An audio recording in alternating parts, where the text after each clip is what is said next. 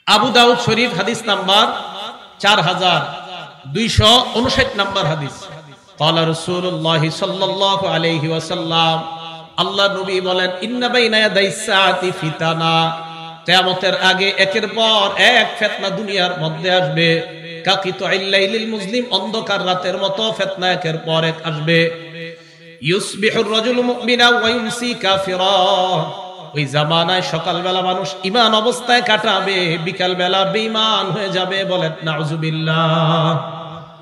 হাদিসের মধ্যে আল্লাহ নবী বললেন, ফেতনা একের পর এক আসবে। এই ফেতনার জামানায় আমার আপনার সামনে বিভিন্ন দিক থেকে বিভিন্ন ফেতনা। এই ফেতনা আমাদেরকে ধ্যানের কথা বলবে। আমাদেরকে বলবে প্রশান্তি এই পথে, আমাদেরকে বলবে শান্তি ওই পথে। আমাকে আপনাকে বুঝাবে জিন্দিগিতে দুই রাকাত নামাজ পড়লে আর জীবনে নামাজ লাগবে না। এটা বুঝাবে। আমার আপনারে কি বলবে? বলবে, তুমি যদি দুই রাকাত নামাজ সঠিকভাবে একবার আদায় করতে পারো জীবনে, আর তোমার জিন্দিগিতে নামাজ লাগবে না। আপনি পাল্টা জবাব দিয়ে দিবেন। আল্লাহ নবী বলেন, লাউ আন্না নাহরান বিবাবি আহাদিকুম ইয়াগতাসিলু ফীহি কুল্লা ইয়াউমিন খামসা মাররাত। তোমাদের কারও বাড়ির সামনে একটা পুকুর আছে। এই পুকুরের মধ্যে এক ব্যক্তি দৈনিক পাঁচবার গোসল করে। মিন দারনিহি তার শরীরের মধ্যে কোনো ময়লা থাকবে কিনা? এক ব্যক্তি, বাড়ির সামনে পুকুর আছে। এই পুকুরের মধ্যে ওই ব্যক্তি দৈনিক পাঁচবার গোসল করে। বলেন তো, তার শরীরে কোনো ময়লা থাকবে? নবীজি বলেন ফাদালিকা মিসতুস সালাওয়াতিল অনুরূপভাবে পাঁচত্ব নামাজ যারা আদায় করবে, তাদের আভ্যন্তরীণ এবং বাহ্যিক যত গুণা আছে, এই গুণা আল্লাহ মাফ করে দেয়।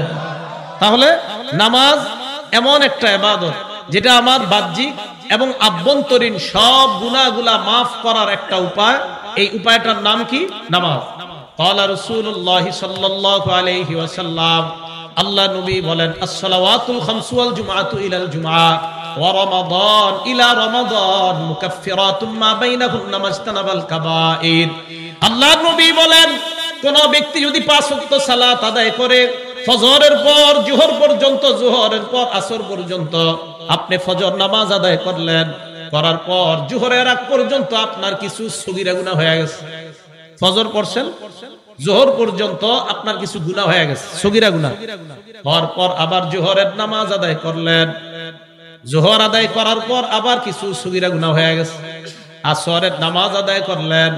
আসর আদায় করার পর আবার কিছু সগীরা গুনাহ আপনার হয়ে গেছে। মাগরিবের নামাজ আদায় করলেন। মাগরিব আদায় করার পর আবার আপনার কিছু সগীরা গুনাহ হয়ে গেছে। এশার নামাজ আপনি আদায় করলেন।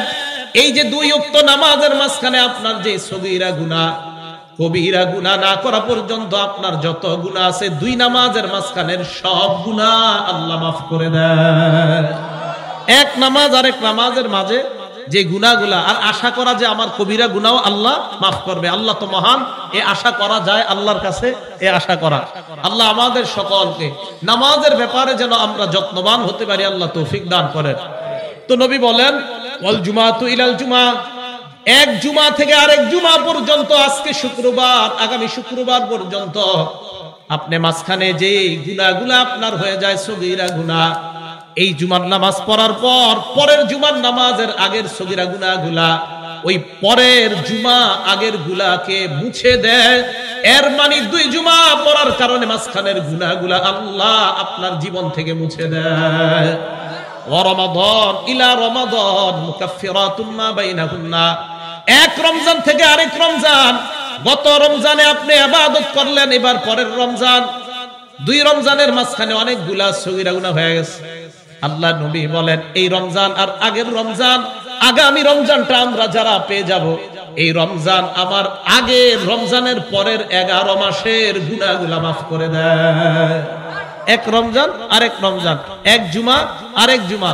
তাহলে এক নামাজ, আরেক নামাজ। মাঝখানের গুণা আল্লাহ মাফ করা দেয়। এখন আপনাদের কাছে আমি জানতে চাই, বলেন, ধ্যান বলেন, প্রশান্তি বলেন, অথবা মনের শান্তি বলেন, দুই রেখাত নামাজ পড়লে অন্তরে একমাত্র শান্তি বলেন, আমি আপনাদের থেকে দিল থেকে জানতে চাই।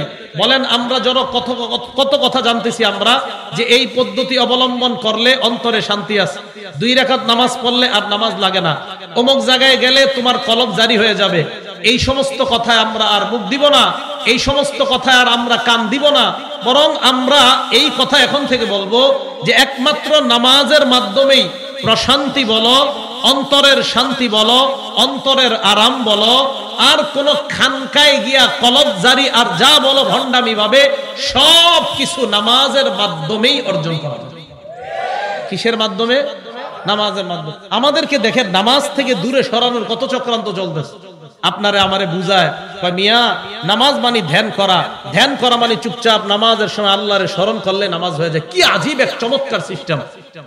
এবং এই সিস্টেমে আমাদের দেশের অলরেডি হাজার হাজার মানুষ পা দিয়ে দিচ্ছে তারা অলরেডি ঝগড়া করতেছে ফেসবুকে মানে নামাজ যে পড়া লাগবে না, এটা নিয়ে ঝগড়া করতেছে। নামাজ পড়া লাগবে না।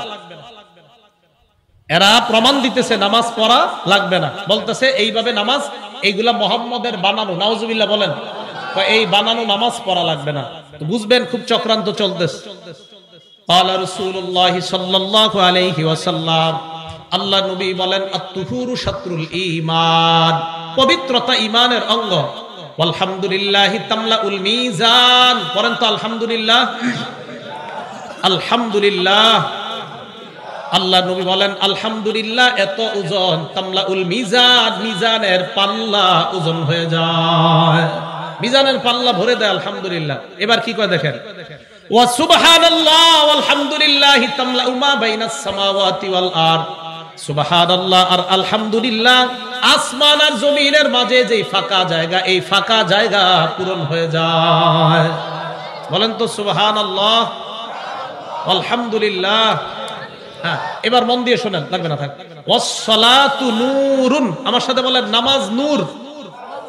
নামাজ নূর। নবীজি বলেন, নামাজ এমন নূর যেই নূর দুনিয়াতে যত বেশি নামাজ আদায় করবেন, আল্লাহ আমাকে আপনাকে তত বেশি আলোকিত বানায় দিবেন। করবেন তো নামাজ ইনশাল্লাহ আল্লাহ নবী বলেন, মান হাফাজ আলাইহিন্না যেই ব্যক্তি পাঁচ উক্ত নামাজের প্রতি যত্নবান হয়ে যায়, পাঁচ উক্ত নামাজ যারা যত্নের সাথে আদায় করে, জোরে বলেন কয়ক্ত কানাত লাহু নূর। এক নাম্বার ফায়দা দুনিয়াতে আপনি নূরান্বিত হয়ে যাবেন, কেয়ামতের ময়দানে আপনার শরীরটা নূরে চমকানো শুরু হয়ে যায়। কেয়ামতের মাঠে আপনার চমকাইতে থাকবে। আল্লাহ বলছেন বাইনা আইদিহিম। আপনার সামনে, পিছনে, কথাটা বুঝেন, একটা নূরের প্যাকেটের ভিতরে আপনি থাকবেন কেয়ামতের মাঠে, আর এই নূরের প্যাকেটের ভিতরে আপনি কেয়ামতের মাঠে হাঁটতে থাকবেন। কাফেররা কি বলবে জানেন? কাফেররা আমাকে আপনাকে বলবে, একটু দাঁড়াও একটু দাঁড়াও, আমাদেরকে একটু নূর দাও, আমাদেরকে একটু নূর দাও। কাফেররা কেয়ামতের ময়দানে এই কথা বলবে। কাফেররা বলবে, কি বলবে? একটু দাঁড়াও। আর, একটু দাঁড়াও না, তোমাদের নূর আমরা নেই। একটু দাঁড়াও, তোমাদের নূর আমরা নেই। তাহলে ইমানদার আমরা যারা, কেয়ামতের মাঠে আমাদের নূর কখন হবে? আমরা দুনিয়াতে যত বেশি নামাজ না পড়ে খালি মাজারে দৌড়াবো। কি করব? জোরে বলেন, কি করব নামাজ পড়ব। নামাজ পড়ব। তাহলে নামাজ পড়লে আমাদের নুরান্বিত হয়ে যাবে। এক কানাতলাহু নূর দুই নাম্বার নামাজ যারা পড়বে, তাদের পক্ষে এই নামাজ কেয়ামতের ময়দানে প্রমাণ হিসাবে উপস্থিত হয়ে যাবে। তিন নম্বর যারা নামাজ আদায় করবে, কেয়ামতের ময়দানে এই নামাজ তাদেরকে জাহান্নাম থেকে মুক্তির কারণ হয়ে যায়। তারা নামাজ পড়লে আপনি নুরান্বিত হবেন, কেয়ামতের মাঠে আপনি আলোকিত হবেন। নামাজ পড়লে আপনার, এই নামাজ আপনার পক্ষে দলিল হবে। নামাজ পড়লে কেয়ামতের মাঠে জাহান নামের আজাব থেকে এই নামাজ আপনাকে মুক্তি দিয়ে জান্নাতে নেওয়ার ফয়সালা হবে। এবার শুনেন। আবু দাউদ শরীফের তেরোশো উনিশ নাম্বার হাদিস। আমাদের পেরেশানি হয় না মাঝে মাঝে? আর আমাদের পেরেশানি হয় না মাঝে মাঝে পেরেশানি? অস্থির লাগে। আমাদের দেশে যে কোয়ান্টাম মেথড চালু হয়েছে, এরা এটার মধ্যে লেখে, যারা অস্থিরতায় কাটান, যাদের ভালো লাগে না, তারা তাদের কাছে যাইতে বলে আর কি। অস্থিরতায় থাকে, ভালো লাগে না, খারাপ লাগে, এই অস্থিরতাকে স্থিরতায় আনবে আপনাদেরকে, ওনারা এমন কিছু কৌশল শিখাবে। ওই জায়গায় যাওয়ার পর চুপচাপ হুম করে বৈশা থেকে কি জানি শিখায়। এইগুলা শিখানোর মাধ্যমে আপনাদেরকে দাওয়াত দেয়। এবার নবীজি সাল্লাহ আলি সাল্লামের ব্যাপারে শোনেন। আমাদের নবীর অস্থিরতা দূর হয়েছে যেই পদ্ধতিতে, এই পদ্ধতি কারা কারা অবলম্বন করব? আমাদের নবী অস্থির হয়েছেন।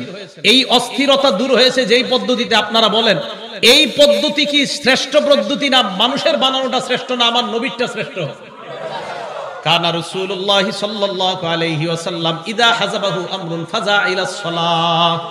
আরেক বর্ণনায় সাল্লাহ নবীজির যখন কোনো পেরেশানি কাজ করত, নবীজির মধ্যে যখন অস্থিরতা কাজ করত সাল্লাহ আল্লাহ নবী নামাজের মধ্যে দাঁড়িয়ে যেতেন। নবীজির যখন অস্থিরতা কাজ করত, নবীজি নামাজের মধ্যে দাঁড়াইতেন, ওই নামাজের মাধ্যমে আল্লাহ নবী তার অস্থিরতা দূর করার চেষ্টা করতেন। হাদিসের মাধ্যমে জানতে পারলাম, অস্থিরতা দূর করার উপায়, এই উপায়ের নাম হলো নামাজ। এই জন্য আরেকটা হাদিস মনে রাখবেন কেয়ামতের আগে আমাদের মাঝে দল হবে তিয়াত্তরটা। ধরে বলেন কয়টা? ওসাল্লাম আবু দাউদ শরীফ, চার হাজার পাঁচশো সাতানব্বই নাম্বার হাদিস। এ হাদিসের মধ্যে আল্লাহ নবী বলেন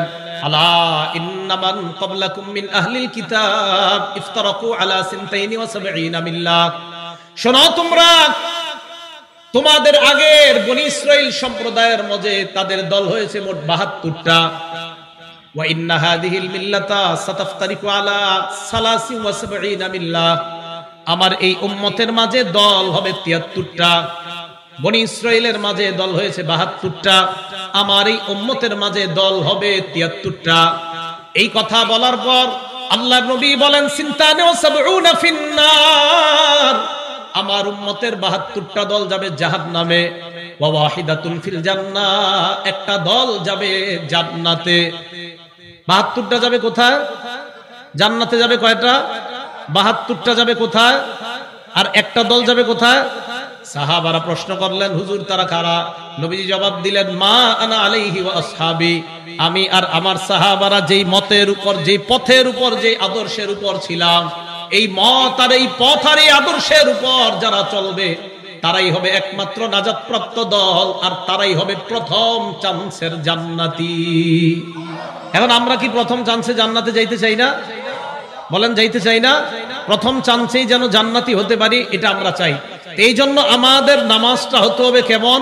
নবীজি সাল্লাহ সাল্লাম বললেন, আমি আর আমার সাহাবারা যেই মত, যেই পথের উপর ছিলাম আমি আমার সাহাবাদেরকে যেইভাবে নামাজ শিখাইলাম, আমার সাহাবারা এর পরবর্তী প্রজন্মকে যেইভাবে নামাজ শিখিয়েছে, এটাই হবে নামাজের পদ্ধতি। এখন সাহাবায় কেরামের এই হাদিসগুলাকে সমালোচনার মধ্যে ফালাইয়া আমাদেরকে বিভিন্ন মাধ্যমে দাওয়াত দেওয়া হয় যে সাহাবায় কেরাম যে সত্য কথা বলছে, এটার দলিল কি? এই কথা কয়। এই কথা বইলে আমাদেরকে দূরত্ব সৃষ্টি করতে চায়। এই জন্য মনে রাখবেন, সাহাবায়ে কেরাম যে নিয়ম শিখিয়ে দিয়েছে নবীজির থেকে শিক্ষা, এই নিয়ম আমরা অনুসরণ করতে হবে। নবীজি বলেছেন, সল্লু কামা রাই তুমুনি উসল্লি। তোমরা নামাজ পড়ো ওইভাবে, যেইভাবে আমাকে নামাজ পড়তে দেখছ। আমাদের দেশের আবার একদল লোক এই হাদিসের একটু বইলে আগে পরে কয় না। কি কয়? এই হাদিসটা এতটুকু বলে, সল্লু খামা রাই তুমনি উসল্লি। একটা ধোকা দেয়, এটা বইলা। তোমরা আমারে যেইভাবে নামাজ পড়তে দেখেছ, এইভাবে পড়ো। এরপরে বুঝায়, হেরা একটা স্টাইলের নামাজ পড়ে। বইরা বুঝায় যে, হেগোটাই নবীজি দেখাইছে। ফাইজলামি করেন, না, আপনাদেরটাই দেখাইছে নবীজি। মানে একটা নামাজ দেখায় দেখায় কয় কয়, নবীজি বলছে, আমারে যেইভাবে নামাজ পড়তে দেখেছ, এইভাবে পড়ো। তো বইলা কয়, আমরা যেইভাবে পড়ছি, এইভাবে নবীজি পড়ছি। মানে একটা ঘটনা দাঁড় করা দেয় যে, আমাদেরটাই নবীজির নামাজ, আর নবীজি বলছে, আমারে যেভাবে দেখো, এইভাবে পড়ো। এই কথা বইলা আরেকটা ধোকা দেয় কি? নারীরা পুরুষের মতো নামাজ পড়বে। কারা নারীরা কার মতো নামাজ পড়বে? আপনাদেরকে এই কথা যদি কেউ বলে, নারীরা পুরুষের মতো নামাজ পড়বে, আপনি বলবেন, আপনার বউরে কর আপনার মতো নামাজ পড়তে। সমস্যা নেই। নারীরা পুরুষের মতো নামাজ পড়বে, এই কথাটা বইলা বুঝায় যে, নবীজি বলছে, আমাকে যেইভাবে নামাজ পড়তে দেখেছ, এইভাবে নামাজ পড়ো। আরে ভাই, নারী পুরুষের নামাজ একরকম হবে। এটা আপনি কীভাবে বলেন? আমরা যেইভাবে সেজদা দেই, আমরা যেইভাবে রুকু দেই, এইভাবে আপনি যদি আকল দিয়া খাটান, একটা নারী এইভাবে রুকু সেজদা করলে তো তার, তাকে সুন্দর দেখাচ্ছে না। আপনি এটা কীভাবে বলেন যে নারী পুরুষের নামাজ একমতো হবে, একরকম হবে? নারী পুরুষের নামাজ যেমনি ভাবে তাদের সৃষ্টিগত পার্থক্য আছে, নারী পুরুষের আমলগত পার্থক্য আছে। এই জন্যই তো পুরুষ জেহাদের ময়দানে গেলে জেহাদের সোয়াব পায়। জেহাদ থেকে ফিরে আসলে গাজীর সোয়াব পায়। নারী সন্তান জন্ম দেওয়ার সময় মারা গেলে শহীদের মর্যাদা রয়ে যায়। তাহলে নারীর শহীদ হওয়া আর পুরুষের শহীদ হওয়া এক না ভিন্ন? পুরুষ জেহাদের ময়দানে গিয়ে শহীদ হলে শহীদ। নারী সন্তান প্রসব করার সময় মারা গেলে শহীদ। দুই শহীদ এক না আলাদা? কারণ সৃষ্টিগত পার্থক্য আছে। তাদের দুইজনের আমলেরও পার্থক্য আছে। এই জন্য মনে রাখতে হবে আমলের যে পদ্ধতি, এই পদ্ধতির অবশ্যই পার্থক্য আছে। নারীর আর পুরুষের আমলের পদ্ধতি এক হবে না। নারী পুরুষের আমলের পদ্ধতি ভিন্ন হবে। এবার আপনাদেরকে আবার বলি, বলেন নামাজ পড়ব, নবীজি যেইভাবে পড়েছেন, সাহাবাদেরকে যেইভাবে শিখিয়েছেন এইভাবে।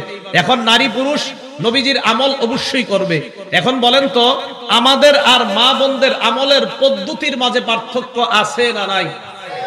এটা বুঝতে হবে। যেমন আমরা নাবির নিচে হাত বাঁধি, মা বোনরা বুকের উপরে হাত বাঁধবে। কথা বুঝে আসছে?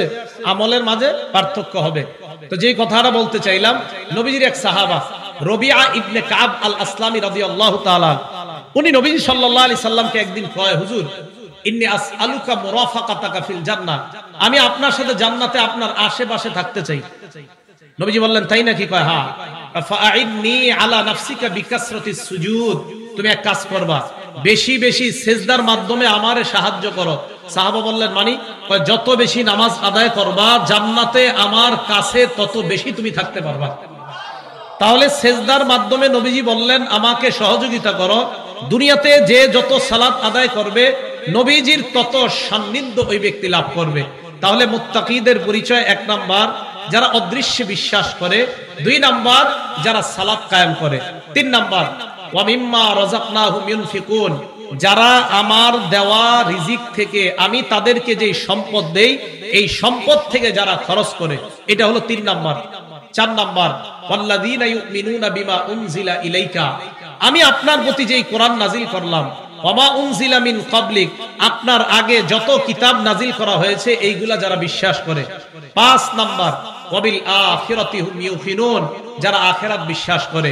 আল্লাহ রব্বুল আলামিন বললেন, মুত্তাকিদের পাঁচটা গুণ বললেন আয়াতের মধ্যে। আল্লাহ বললেন, লা এই কোরআনে কোনো সন্দেহ নাই। হুদাল্লিল মুত্তাকিন, এই কোরআন মুত্তাকিদের জন্য হেদায়েত। মুত্তাকি কারা? এক নাম্বার যারা অদৃশ্যে বিশ্বাস করে, দুই নাম্বার যারা নামাজ কায়েম করে, তিন নাম্বার যারা জাকাত আদায় করে। তাহলে এই মাদ্রাসাটা, এটা আপনাদের এলাকার মাদ্রাসা। এই মাদ্রাসার প্রতি আপনারা দান, সদাকা জাকাতের মাধ্যমে ইনশাল্লাহ অসহায়দের পাশে দাঁড়াবেন ইনশা আল্লাহ রাজি আছেন না সবাই ইনশাল্লাহ এটা তিন নাম্বার। চার নাম্বার, আপনার উপর যে কোরআন নাজিল হয়েছে, এই কোরআন যারা বিশ্বাস করে। পাঁচ নাম্বার হুম যারা আখেরাত বিশ্বাস করে মুত্তাকিদের এই পাঁচটা গুণ মনে থাকবে সবার এক নাম্বার, যারা অদৃশ্যে বিশ্বাস করে। দুই নাম্বার, যারা নামাজ কায়েম করে। তিন নাম্বার, যারা জাকাত দেয়। চার নাম্বার, যারা আপনার প্রতি যে কোরআন নাজিল করা হয়েছে এই কোরআন আর আগের কিতাবগুলো বিশ্বাস করে। পাঁচ নাম্বার, যারা আখেরাত বিশ্বাস করে। এই পাঁচ গুণের বৈশিষ্ট্য ব্যক্তিকে বলা হয় মোত্তাকি। এটা হলে কি হবে? আল্লাহ বলেন, তারাই তাদের রবের পক্ষ থেকে হেদায়েতের উপর আছে আর তাদেরকে আল্লাহ কোরআনে সফল মুমিন বলে আল্লাহ ঘোষণা দিয়ে দিয়েছেন। আল্লাহ রব্বুল আলামিন আমাদের সকলকে সফল মুমিন হয়ে যেন আমরা দুনিয়া থেকে কবরের জীবনে আমরা যাইতে পারি, আল্লাহ তৌফিক দান করেন। আমিন আখিরু দাওয়ানা আনিল আলামিন।